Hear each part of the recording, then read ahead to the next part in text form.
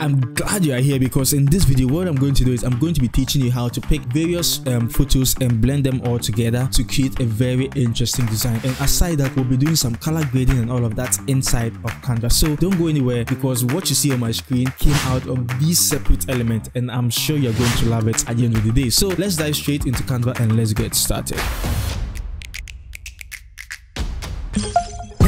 Benjamin here, a verified Canva expert based in Ghana. If this is your first time on this channel, look, subscribing to this channel automatically makes you an OG. And if you're an OG, I really appreciate you for your continued support. So without any further ado, let's jump straight into Canva and let's get started. Right so you can see what we have over here and trust me you this was very beautiful and i was so proud about this design when i made it because it came out of i saw a post from one photoshop guy on instagram and i was like well let me just try and see if i can replicate and make a canva version of it and this is what i was able to do. Very nice and very sweet. So i'm going to teach you how you can make this also in canva. So first thing first click on a new page and you just have to use the dimension 1080 by 13 50 okay? Then when you have that make sure you're coming into you know photos especially because today we are going to be working and lot in photos okay? Then i come into my c or, or what you can simply do is just search for nature okay? When you search for nature there's so many of them like so many things you would find right? So you just go through and see if you can find the appropriate one okay? Or you can search for mountain.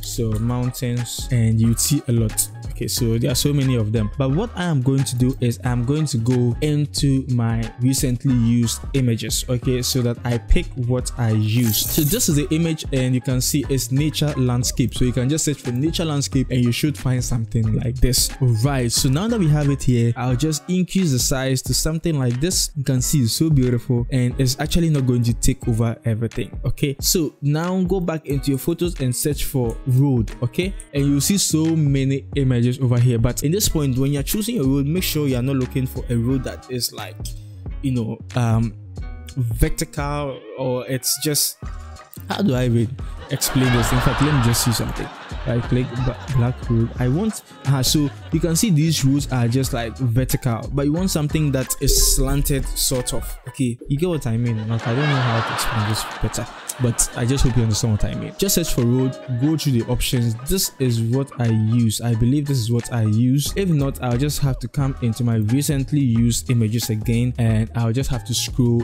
down. And yes, yeah, so this is what I, you know, this is it. You can see how the image looks like. Very interesting. So I'll delete this. And what I'm going to do here is I'll come into photo and come to BG remover. Okay. So you can see already it's looking natural. You can see. So I'll position it, you know, somewhere up like this just so that everything is looking beautiful all right all right so we'll crop it nicely and we'll also crop this nicely so we are just combining these two images now that we've done that it's looking good it's looking very good right now but as soon as we start adding extra things it'll be so obvious that these are two different images so what we want to do is to blend things up but before we do the blending let's add our car. Okay so we can just come in here. In fact let me just choose my car at the moment. And i come in and i can just search for car. Okay there are so many cars you can choose but make sure you're using a car that has a shadow underneath so that it makes the whole thing look natural okay? Because at the end of the day you wouldn't want people to know that these are separate elements. You want them to think it was a photograph that was taken okay? So have that in mind. So yeah this is my car. I will come to um, flip and just flip it okay? And the car shouldn't look too big else it wouldn't look natural. Okay it should look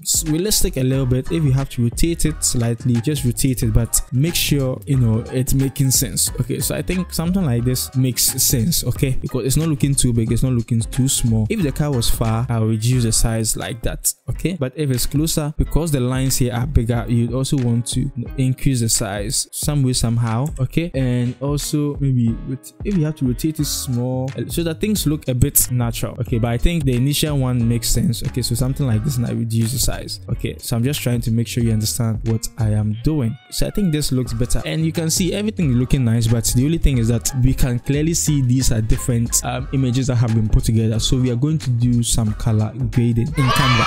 It sounds amazing. Okay so i'll come into my first image. Okay come here to edit photo and we are going to go into adjust. Okay so what we're going to do is to be adjusting the temperature. So i'll adjust the temperature to something like you know I'll go into the warm part of it. Okay, so 38%, which is cool. And I'll choose the road as well and just make it 38%. But you should note that depending on your image, you would this can be less. Okay, the temperature should be less or more just so that it suits. But I think if it's 26 like we've done over here, it still matches with what we have. Okay, then with the car, I also come in here and I'll do some color grading in there. So I would also increase a little bit to 28 just to make everything match up nicely okay so another thing we can also do is we can come in or you just click on the road first of all right come into edit photo and we'll go into the brightness. Increase the brightness a little bit sort of you know to 12 contrast more highlights okay and you know any adjustments vibrance a little bit okay and we are just going to do the same for this as well. The brightness can be a little bit more to make the clouds brighter and the contrast a little bit just to separate okay the brightness from the darkness. And i think the next thing is i think that's all. Maybe the blacks i'll boost the blacks a little bit by increasing a little bit so to 10 and i think it should be fine okay? So yeah you can see we are getting somewhere all right and just in case you want to colorize everything what you can do is to come into edit photo and you can also use the tint okay? So depending on how you want things to look greenish purplish anyhow you can just do that. So maybe it's 18 for this i can come here also increase it a little bit okay? You can see and i'll come to the car and also do the same. So you can see we've colored it a little bit and i think this is looking beautiful right so that's what you can use the tint for if you want to colorize them but i'll leave them the way they are okay? Now the next thing i want to do now is to add my text okay? So instead of adding them all over again i'll just select all of them and i'll show you what i did. So i'll paste them here and what i simply did was making sure that all the colors are matching with my text okay? So i just selected my text came into colors and i just picked colors from here. Canva has actually generated some colors for us based on the images we are using and that's what i did. I just added them in here and this one also the same. So we can see we can make it green you know which is also cool. Then we can duplicate it and just position it over here. Come into effect and choose background. Okay then with the roundness i'm going to make it zero. The spread i'm going to reduce it to 27 should be fine. And the color i will choose maybe white okay for it. Or i can choose the same dark color okay and the text color is going to be white so that it can be seen okay. Then i just put in my words. So what i said acceleration innovation and speed. So i'll do the same thing. So acceleration then innovation.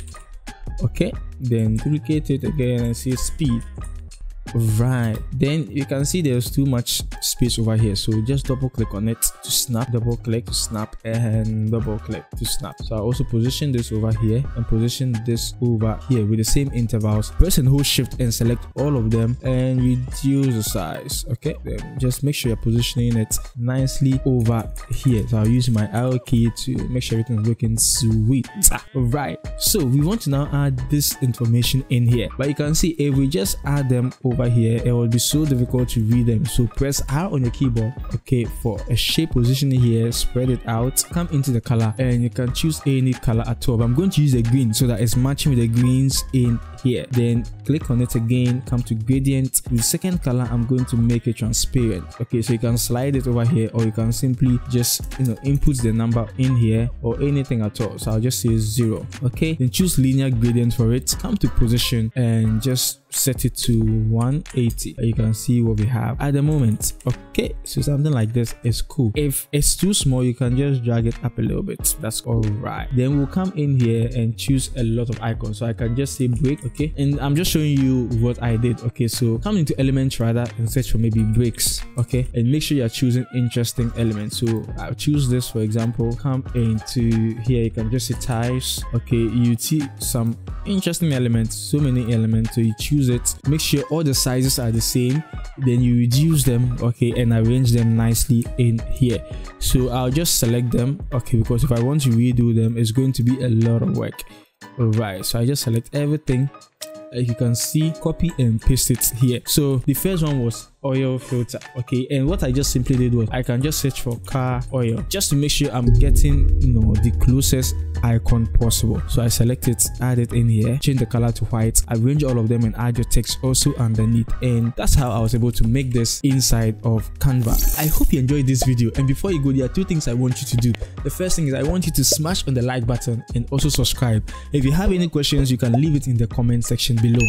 And don't forget, you can find all my Canva templates with using the the link in the description box below. The name is Benjamin. Don't forget there is no limit to creativity and I should see you in my next video. I don't know what it costs. Huh. I hit the ground go off. Yeah, hit the ground go off. Yeah, I can't take no loss. Yeah, I don't even know what it costs. Yeah, I hit the ground go off. Yeah, hit the ground go off.